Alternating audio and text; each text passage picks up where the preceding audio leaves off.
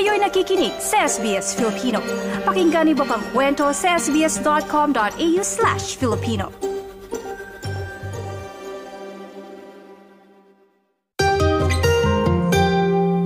Sa Western Region ngayong araw na ito, actually ni-launch namin kasama si MP uh, Sulaiman at uh, ang local um, councilor nila si Twing na meron na tayong AFCS office para sa seniors at other social services based sa Uniting Filipino Church sa St. Albans.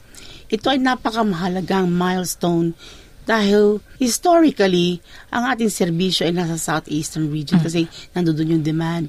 Pero alam natin na mas marami nakatatanda sa western region. Subalit, hindi pa yun nabigyan ng atensyon through AFCS. Pero meron na ibang service provider na Pilipino din. Ang kaibahan nitong serbisyo na ito ay pinapahalagahan namin o pinangungunahan namin yung kanilang home care packages. Ito ay isang alternatibong service kung sila ay may mahigit na dalawa o tatlong pangangailangan maliban sa center-based program. Ang serbisyong ito ay para sa lahat ng Pilipino na wala pang serbisyo.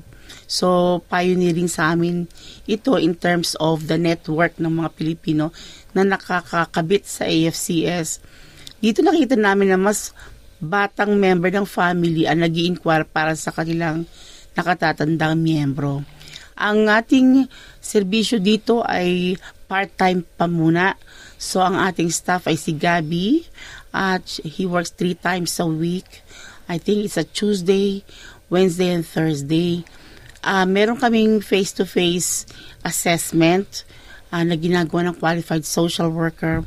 Ang serbisyo dito ay pinondohan ng Australian government, ng um, Victorian government, at ng federal government. So under ba siya ng NDIS o may age care? Ito ay under ng Commonwealth Home Support Program which is My Age Care. Lahat ng referral ay tumutungo sa Central National Referral System. Kaya kung isang nakatatanda na nakatira dito sa Western Region ng Melbourne at Northern Region ng Melbourne, all you need to do ay tumawag sa My Age Care.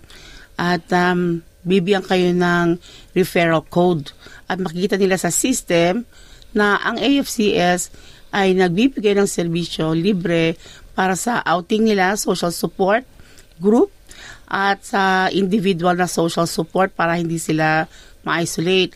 Pangatlo, kung sila ay kailangan ng in-home care, domestic care, yun ay under home care packages. Ang aming social worker, napaka-effective to advocate para ma-expedite ang kanilang serbisyo. At habang nagiintay doon, piniprepare na namin ang visiting program. Ito ay libre, nang sa ganun hindi sila na-isolate. Mahaba-haba ang proseso ng home care package, but we try to advocate lalo kung may symptoms of dementia. Yan. So ito, lahat ng ito, kailangan mong dumaan sa My Aged Care. Yes. At ang, mayroong gagabay sa iyo sa proseso. That's right. Imp- importante, alam nila numero, 1-800-200-422. It's My Age Care. Nice yung bang makinig na iba pang kwento na tulad ito? Makinig sa Apple Podcast, Google Podcast, Spotify o sa iba pang podcast apps.